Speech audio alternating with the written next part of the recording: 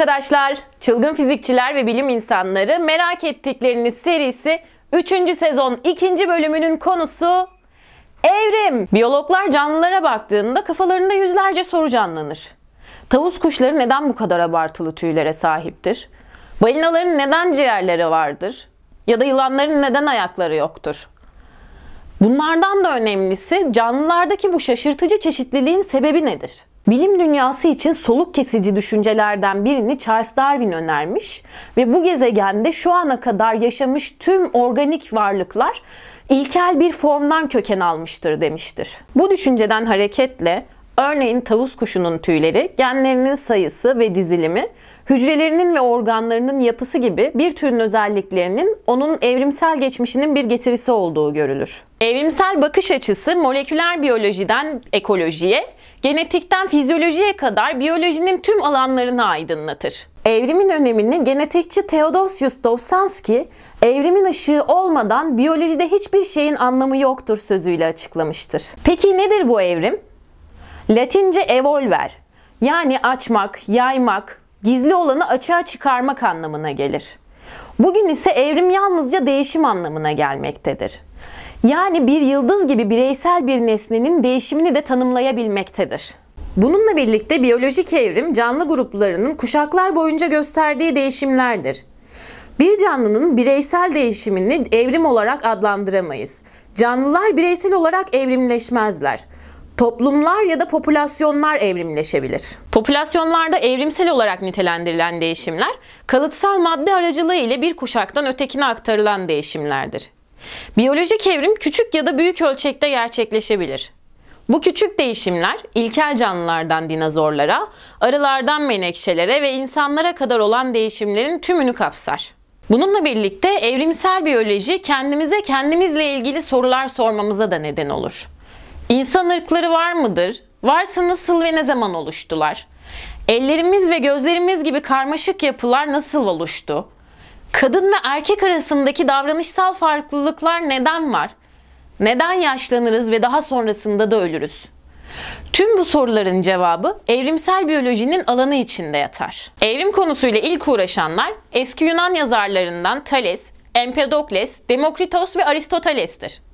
Daha sonra Francis Bacon, Descartes, Leibniz, Kant gibi filozoflar yeni teoriler ileri sürmüşlerdir. Ünlü fizikçi Isaac Newton'un çalışmaları 17. yüzyıldan itibaren daha fazla materyalist görüş oluşmasına yol açmıştır.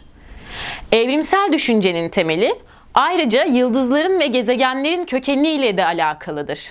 18. yüzyılda pek çok bilim insanı türlerin değişebileceğini düşünmüş ve bu konuda araştırmalar yapmıştır. Ancak bu konuda araştırmalarını toparlayıp kitap yazabilen iki isim Lamarck ve Darwin'dir. Evrimin bilimsel tarifini veren ve düzenleyen isim ise Charles Darwin'dir. Darwin'in bu devrimci fikriyle sadece fizikçi Isaac Newton'un kuramı boy ölçüşebilir. Charles Darwin ve Alfred Wallace birbirinden bağımsız olarak geliştirdikleri doğal seçilimle evrim kuramına ilişkin makalelerini İngiliz Linnean Society'nin 1858'deki oturumunda birlikte sundular. Darwin'in Türlerin Kökeni isimli yapıtının 1859'da yayınlanmasından sonra kuram büyük bir ilgiyle karşılandı ve yıllarca sürecek olan tartışmalara yol açtı. Türlerin kökeni iki büyük savdan oluşur. Bunlardan biri değişerek türeme. Yani orta katadan gelen canlıların küçük değişimlerinin zaman içerisinde birikerek onları bambaşka varlıklar haline getirmesini savunan görüştür. Türlerin kökeninin ikinci savı ise doğal seçilimdir. Bu kurama göre eğer evrimsel değişim yararlıysa yani hayatta kalma olasılığını arttırıyorsa bu bireyler daha yüksek şansla korunacaktır. Bu konuya örnek olarak ceylan ve çitaları verebiliriz. Ceylanların yavaş ve güçsüz olanlarını çitalar yiyeceği için çiftleşme mevsimine kadar hızlı ve güçlü olanları yaşayacaktır. Bununla birlikte yavaş çitalar da ceylanları yakalayamadıkları için aç kalarak öleceklerdir. Bu şekilde devam eden sürecin sonunda hızlanma konusunda ceylan ve çita türleri baskı altına girecektir. Her ne kadar türlerin kökeni büyük tartışmalar yarattıysa da 1870'lerin sonunda pek çok bilim insanı orta katadan evrimin tarihsel gerçekliğini kabul etmişti. Bununla birlikte 19. ve 20. yüzyıllarda embriyoloji, paleontoloji ve morfolojideki gelişmeler bu durumu izledi. Bu sırada fosiller sayesinde de canlılar arasındaki ilişki ve evrim hakkında birçok bilgi toplanmıştır. Bununla birlikte türlerin kökeninin yayınlanmasından 60 yıl geçmiş olmasına rağmen doğal seçilim fikri birkaç bilim insanı dışında tüm bilim insanları tarafından reddediliyordu. Darwin karşıtı düşünceler 1930'lu ve 40'lı yıllarda evrimsel bileşimi savunan bilim insanlarınca toplanan kanıtlarla çürütülmüştür. Darwin'in evrim kuramı genetik, sistematik ve paleontolojinin katkısı ile ilerleyip genetik gerçeklerle uzlaşınca evrim karşıtı görüşler yalanlanabilmiştir. Evrimin kanıtları ve daha fazlası için ikinci part videomuzu izlemeyi unutmayın. Videomuzun kitap önerisi Douglas Futuyma'dan Evrim. Evrimle ilgili sorabileceğiniz pek çok sorunun yanıtını rahatlıkla bu kitabın içinde bulabilirsiniz.